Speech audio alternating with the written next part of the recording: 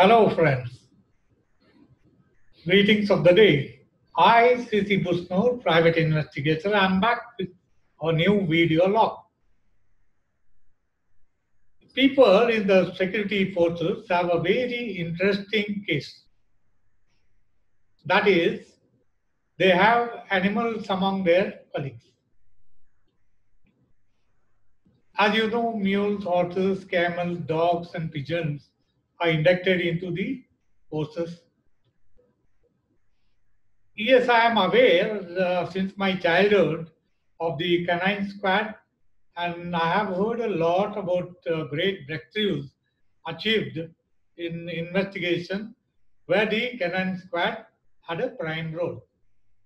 In fact, canine squad is not a surprising thing to me as I had already seen the extent of training that can be imparted to the dogs. And uh, during my childhood, my childhood friend, Mr. Suresh Gundi, now an advocate, had successfully trained a pair of Great Dane canines, uh, which could identify the saints, different uh, saints, and uh, a good demonstration was uh, shown to me in those days. So, an astonishing tale of doggedness that the four-legged hero of Belgian Malinois breed is not a ordinary thing, an extraordinary thing.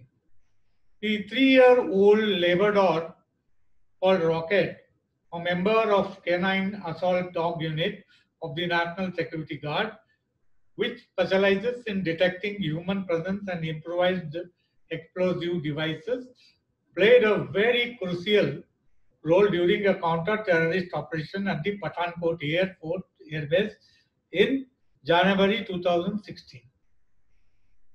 There's also simultaneously there's a story of a mule named Pedongi who was awarded the honor for its services by naming an army mess launch after it. Stories have grown of her feats, suggesting that she was once caught by Pakistanis but managed to make her way back to the Indian Army outpost, carrying the munition and other uh, the thing belonging to the Pakistanis back to Indian post. So she was recognized and uh, she received the Veer Chakra award. There's also recently a story of a heroic dog named Janjeer who served thousands of who saved thousands of lives in 1993 in Mumbai blast case.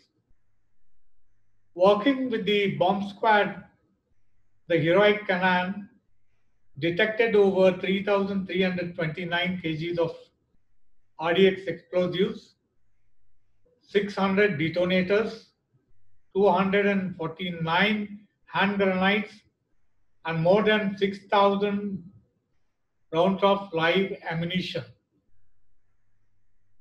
No wonder he was also, he had also helped avert three more bombs in the following days following the first blast, thus saving countless lives. So now India's first war memorial dedicated to service animals is coming up in Meerut. Very interesting. It is well deserved uh, memorial what is coming up for them. And coming back to today's topic, it's about the shoplifting or what they call it as shrinkage. So shoplifting or uh, shrinkage is a serious issue. There are no typical shoplifters. They can be of any age, gender, race, and economic background. Usually, there are two categories of uh, shoplifters.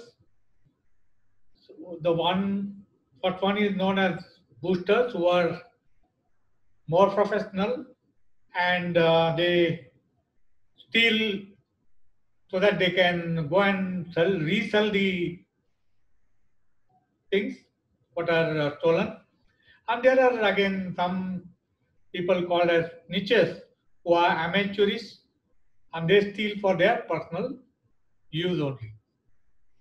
So generally the shoplift, uh, shoplifters are driven by either economic or psychological motives. Psychological uh, motives may include peer pressure or desire for thrill or excitement, impulse, intoxication, or some kind of compulsion.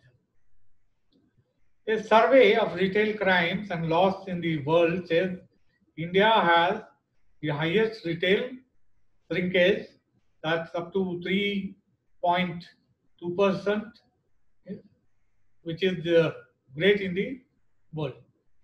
Now, retail shrinkage is the loss of products due to shoplifting, employee theft also included. Sometimes uh, the paperwork uh, errors can happen. And then again, there is a very peculiar thing which is called as supplier fraud. For supplier fraud, perhaps it is not uh, that uh, easy. It, uh, the someone from inside has to be involved and uh, other accomplish in that uh, this thing. And uh, the merchandises in uh, shops are displayed in a manner which can be very tempting.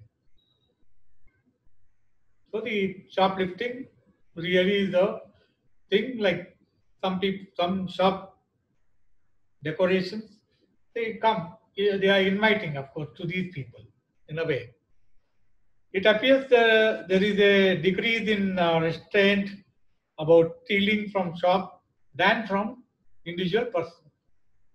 They know they have little chance of getting caught and provide them an uh, anonymity factor.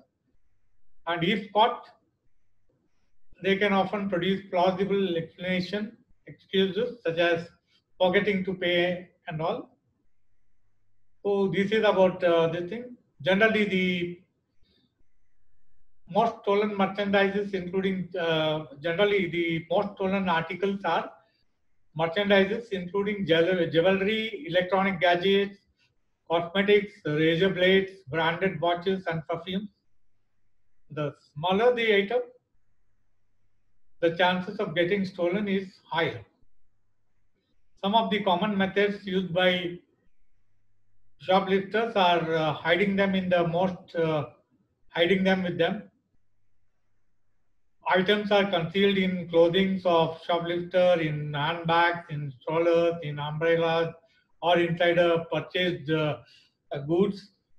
Uh, after other methods include uh, blind uh, spotting, price label switching. They switch price label from one thing to the other so that at the counter they have to pay a price which is lesser than the uh, actual cost of that product.